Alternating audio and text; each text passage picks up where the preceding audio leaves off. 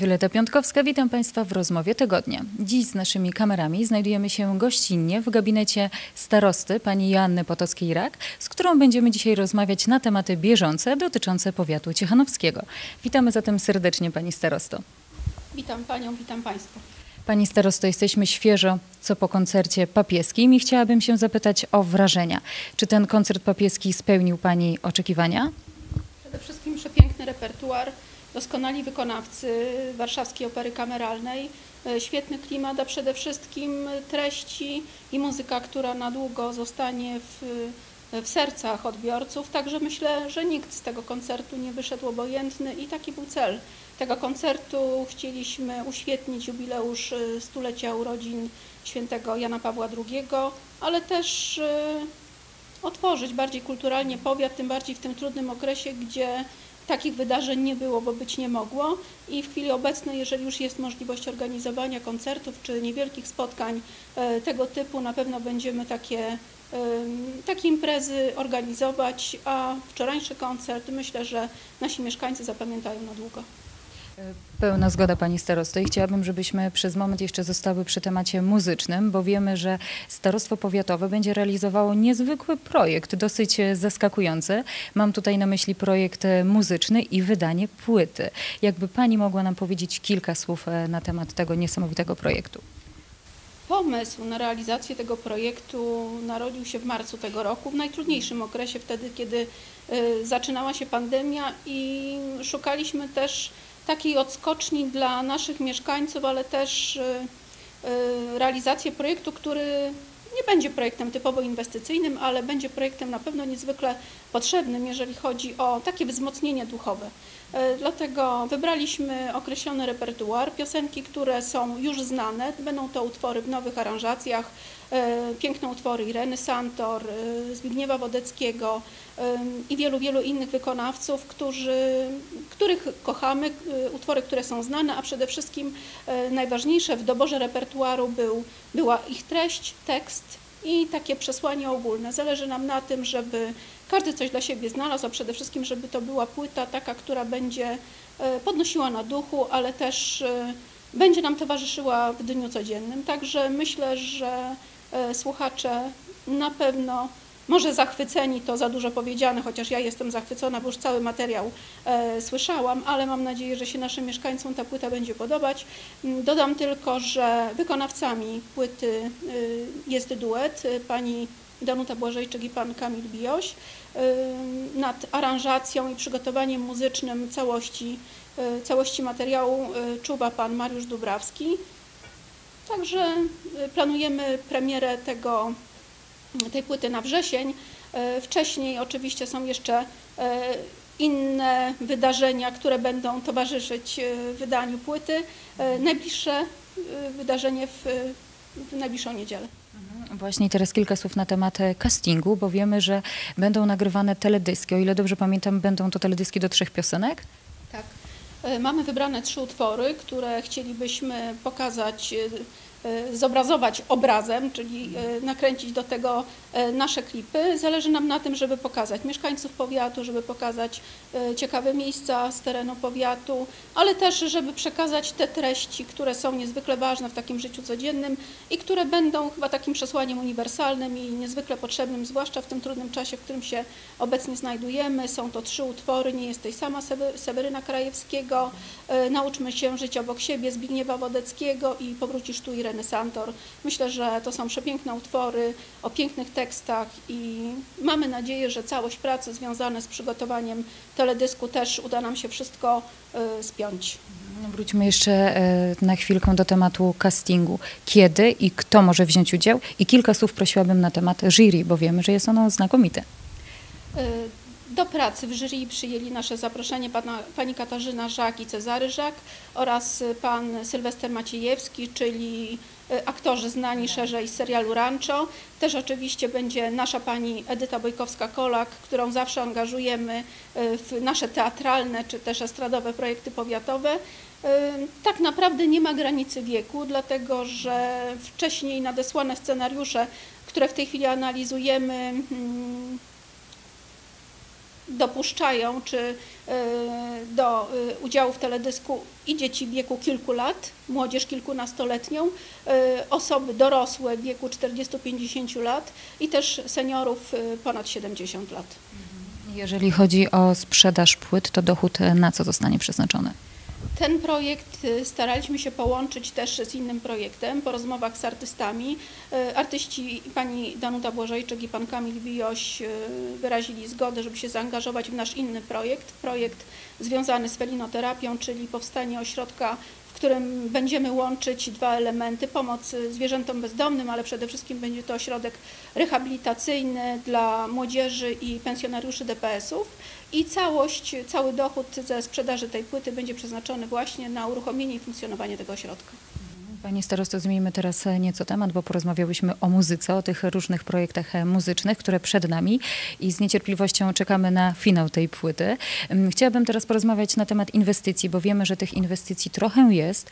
E, Między innymi poważna inwestycja tak naprawdę łączona, bo mam tutaj na myśli budowę ścieżki rowerowej Ciechanów-Gołodczyzna i powstanie parku krajobrazowego w obrębie Muzeum Pozytywizmu w Gołodczyźnie. Czy myśli Pani, że te inwestycje otworzą turystycznie Gołodczyznę?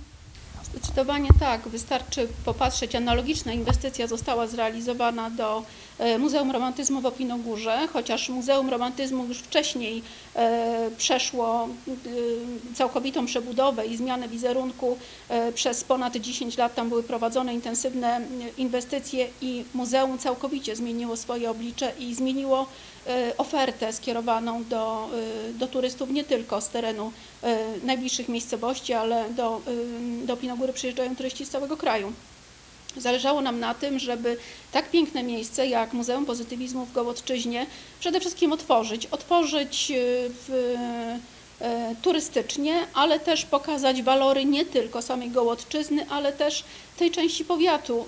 E, Do tej pory nie było możliwości bezpiecznego przebycia tej odległości Ciechanów-Gołodczyzna przy drodze powiatowej niezwykle ruchliwej.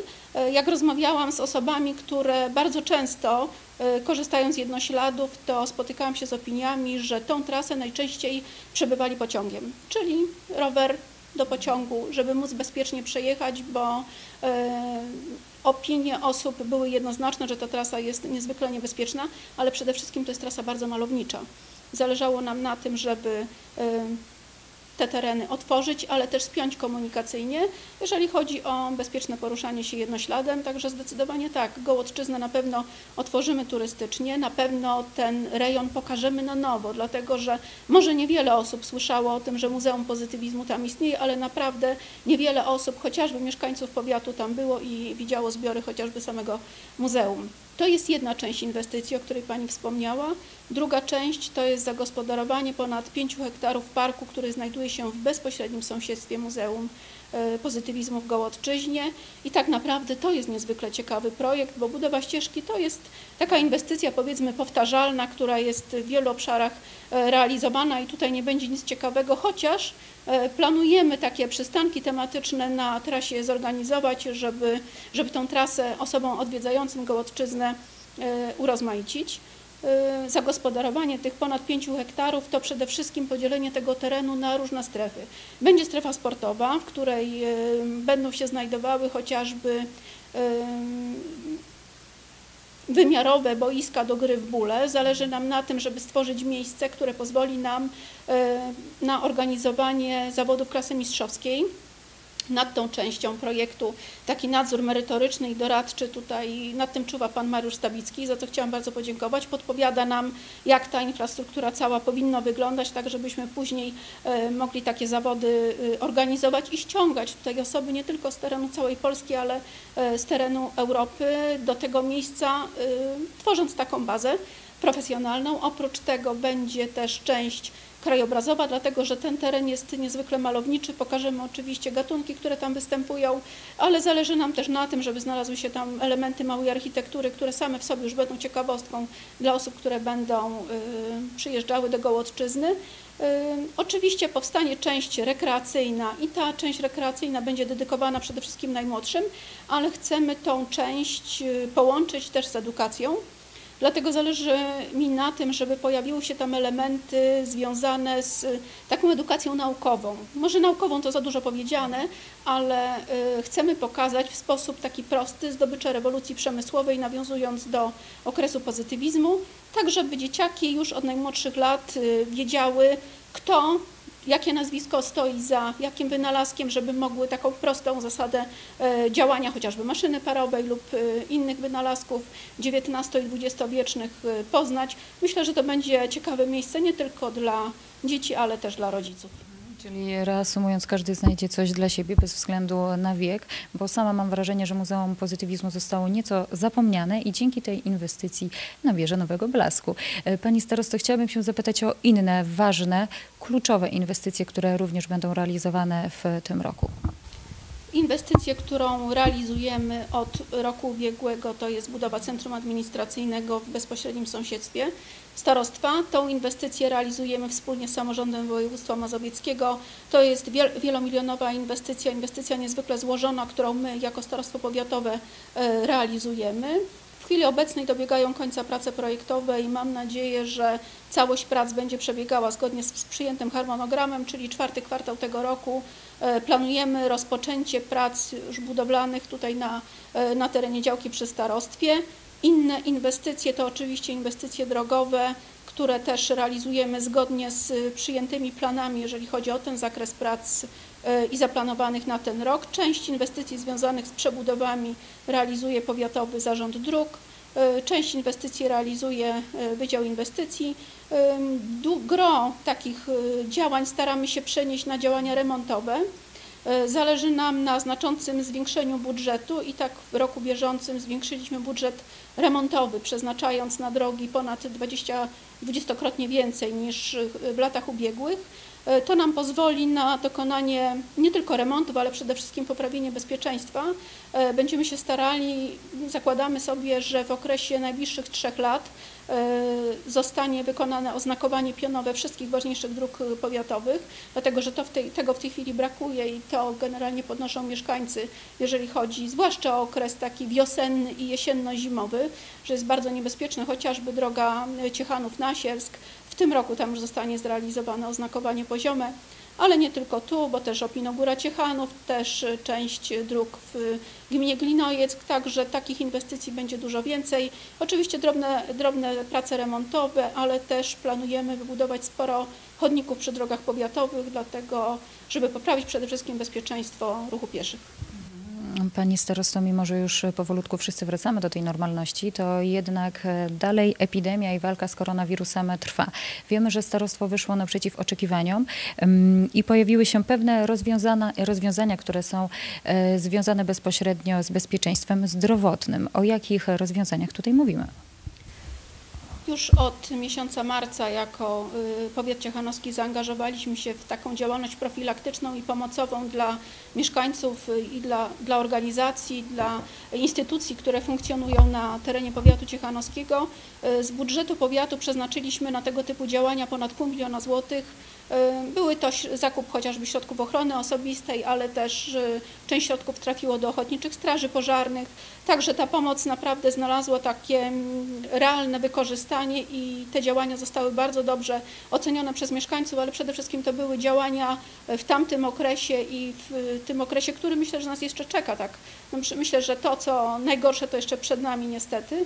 E, te działania, które zostały podjęte w drugim kwartale tego roku, one będą wykorzystywane w okresach późniejszych, ale też jako starostwo przede wszystkim zmieniliśmy sposób funkcjonowania mm, e, e, urzędu, bo to wymuszały przepisy, ale też pewne rozwiązania, które zostały zastosowane czy przyjęte w związku ze zmianą przepisów okazały się bardzo przydatne, jeżeli chodzi o taką bieżącą działalność urzędu i myślę, że część z tego typu przyjętych rozwiązań będziemy kontynuować, ale też y, ostatnio zakupiliśmy urządzenie do dezynfekcji rąk i to urządzenie już na stałe e, zostało zainstalowane na parterze budynku starostwa, dlatego że pewne przyzwyczajenia musimy u mieszkańców e, pielęgnować, pokazywać, że pewne zachowania powinny stać się standardem, a nie tylko e, wykorzystywać je w okresie pandemii, dlatego że to nam służy niezależnie od tego, czy jesteśmy e,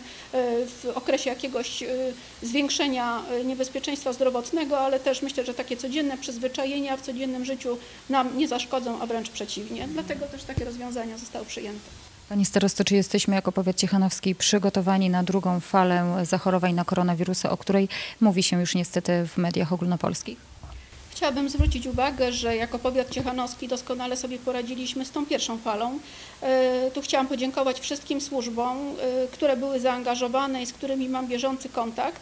E, Bardzo dobra współpraca z poszczególnymi instytucjami, koordynowanie działań, przede wszystkim przeciwdziałanie pewnym działaniom, profilaktyka, e, traktowanie siebie przede wszystkim poważnie, jeżeli chodzi o zalecenia chociażby służb sanitarnych, spowodowały to, że y, summa summarum mieliśmy niewiele zachorowań y, na terenie powiatu i mogę powiedzieć, że jako powiat jesteśmy naprawdę bardzo dobrze przygotowani, patrząc chociażby na to, jak y, wyposażone są nasze jednostki, czy policji, czy straży pożarnej, czy y, inne służby, które są zaangażowane w, y, w ten proces. Też nasza jednostka wojskowa była zaangażowana, ale przede wszystkim sanepid, szpital, y, te wszystkie instytucje naprawdę stanęły na wysokości zadania, ale też wiem, z jakimi wyrzeczeniami to się spotkało z drugiej strony, z jaką ilością pracy, poświęceń.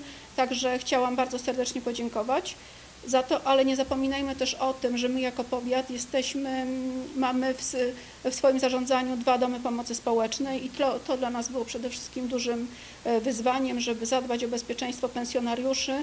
I tutaj ogromne podziękowania do dyrektorów y, naszych y, ciechanowskich DPS-ów, bo udało nam się uniknąć zachorowań, a to jest to byłoby niezwykle, y, niezwykle trudne do opanowania, dlatego jak konsultowaliśmy to z dyrektorami y, naszego szpitala, to mogliśmy mieć na przykład, gdybyśmy nie zadbali o odpowiednie procedury i standardy, ponad 500 przypadków zachorowań i wtedy nasz szpital nie byłby w stanie przyjąć takiej ilości chorych. Rozumiem. Pani starosto, bardzo dziękujemy za rozmowę i może na zakończenie zaprośmy raz jeszcze mieszkańców powiatu ciechanowskiego na najbliższy casting muzyczny. Serdecznie pa- Państwa zapraszam. To już tak bardziej na letnie mamy okres wakacji, także nie tylko rozmawiamy o tych sprawach trudnych, ale też y, o wydarzeniach łatwych, które nas budują tak bardziej pozytywnie. Serdecznie zapraszam w najbliższą niedzielę o godzinie 13 do kawiarni artystycznej w Powiatowym Centrum Kultury. Organizujemy casting do teledysków. Y, nie ma ograniczeń wiekowych. Przede wszystkim e, taką wy- wymaganiem podstawowym jest odwaga i oczywiście odrobina, odrobina poczucia humoru. Serdecznie Państwa zapraszam. Również dołączamy się do tych zaproszeń i mamy nadzieję, że się już w niedzielę z Państwem tam spotkamy. Moim i Państwa gościem była Pani Joanna Potocka-Rak, starosta powiatu ciechanowskiego. Dziękujemy raz jeszcze. Dziękuję. Dziękujemy Państwu za uwagę. Do zobaczenia w następnej rozmowie tygodnia.